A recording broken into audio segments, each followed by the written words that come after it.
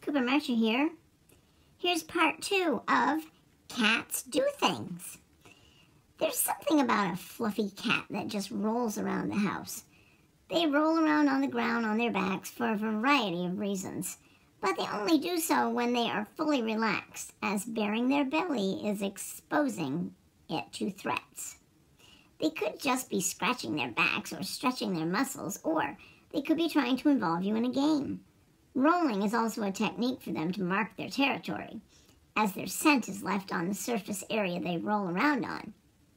When compared to typical dogs, most cats have a sense of pride and self importance that is characteristic of their nature. They recognize their name and the voice of their owner, but unlike dogs, they do not always respond immediately when called. Cats prefer to show affection when they want, rather than when you want. If they're not seeking attention and you call them, they won't answer. Nothing to worry about as your cat will approach you when he wants. As cat owners, I know you love your cats.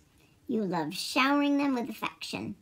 But when they try their hand at opera singing in the middle of the night, just after you fall asleep, it really makes you reconsider your life choices. These sounds could be the result of the cat attempting to hunt or could be cries of unhappiness if no prey can be located. If you play, play with your cat while, while you are awake, it will be tired when you go to sleep. Let sleeping cats lie is an old adage. Turns out there's a reason why your kitten wants to have 40 winks, irrespective of the time of day. It's because during sleep, their bodies release growth hormones needed for their development. That's why kittens sleep more than adults. Cats usually sleep a lot because they need to save their energy for the next hunt or activity. They also fall asleep when they're bored and there's nothing to do. So if you want to engage them, play with them. Now, teething or pica is a condition in which cats chew on plastic or other non food items.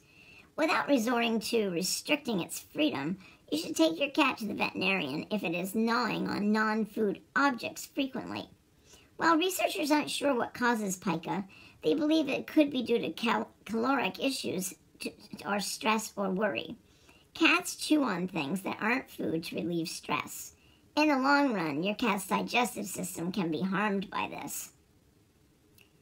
Bumming you out. There you are at home on your sofa, you try to cuddle your cat, but it keeps on escaping your loving grasp and keeps presenting you with its fluffy butt. what have you done this time to deserve this gesture from your cat? Lifting their tails and shoving their rump, rump in your face may appear rude, but it's actually a sign of faith and devotion. We show you, we show that we are friendly and willing to interact with you by lifting our tails. In a way, it's a compliment. Your tabby may also follow you to the, like a bodyguard to the bathroom. Some researchers say that cats follow owners where they go when they feel vulnerable. Some cats do this because they're curious by nature. Maybe they're smart enough to know that your attention will be on them if you're if you're in the bathroom with you. I have a part two, but tomorrow is CCC up. I mean, I, I mean, I have a part three, but tomorrow is CCC update day. So Cooper Marcher here. Ciao.